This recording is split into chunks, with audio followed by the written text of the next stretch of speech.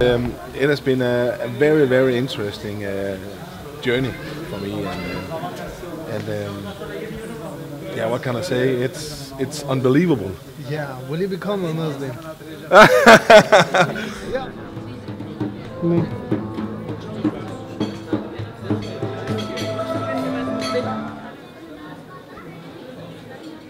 Endelig hjemme her efter en, øh, en lang rejse, eller i hvert fald en øh, hård rejse. Øh, utrolig spændende og, og fantastisk oplevelse.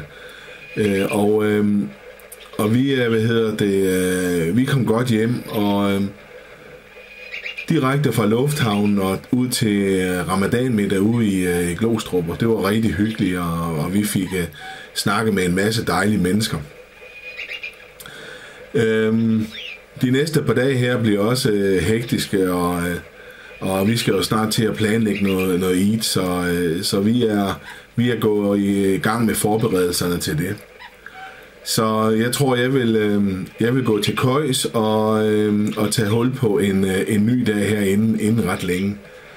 Og øh, husk, inden at vi øh, lægger os til at sove, så øh, skal vi lige drikke godt med vand.